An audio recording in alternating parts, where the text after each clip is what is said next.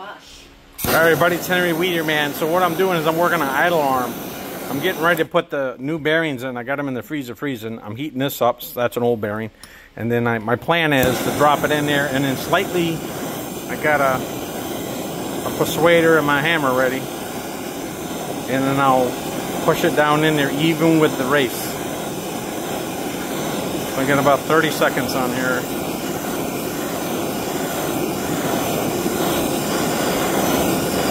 All right, let's go get the frozen bearing. it's been in the freezer for about 30 minutes.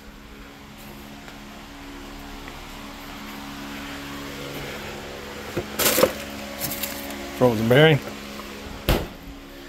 Nice and cold. Cross your fingers. I'll throw a little more heat on it real quick. It's frozen. You can see it steaming over there. Shouldn't have lost too much heat. I might have to persuade it a little bit. I'm hoping I don't have to. Cross my fingers.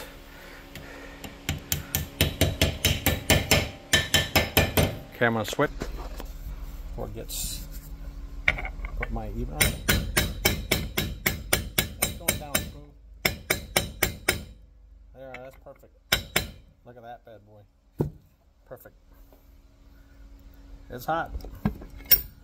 Look at that. Dead even. And I got to put a second one in. Second one's fun because there's nothing to grip onto with the ice. And it's hot. So I'm going to heat it up. Again, the other one's frozen too. It's going to be fun trying to get that second idler arm bearing off. I went through heck getting this one out. Penetrating oil heat, penetrating oil heat, and then I used my um, pulley puller as an afterthought. And I use it as a bearing pusher. Okay. Right, I want to heat that bearing up and move it.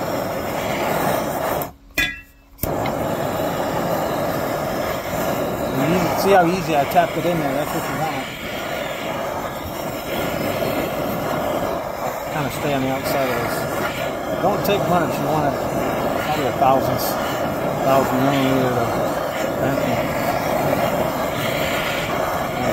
that new, that I put on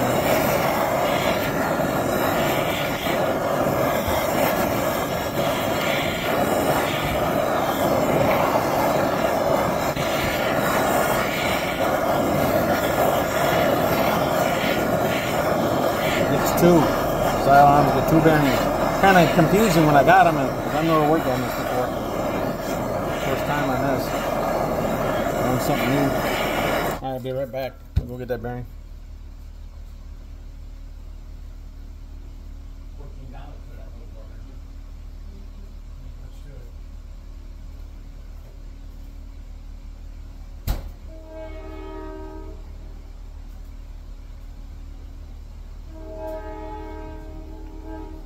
I know it hasn't dropped too much temperature. It hasn't gone that long, just 10, 20, 30 seconds.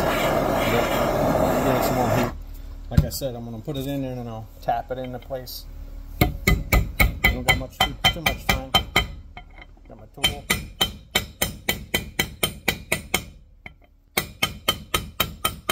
Going in easy Seems about that.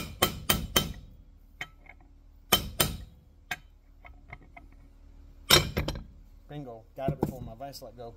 It's hot. Try to re try to re-grip it. Sorry about all this. I'm not really set up for this mess. I just want to get down there just a little bit more. There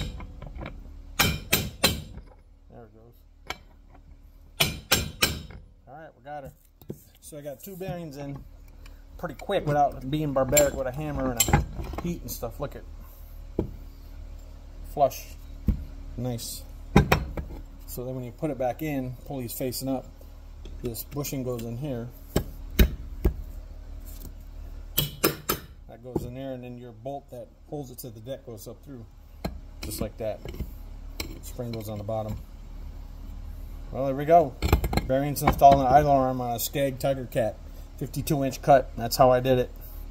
And uh, I'll try to show you some video when I try to get these other bearings out on the other idler arm. I'm going to put this on and keep on moving.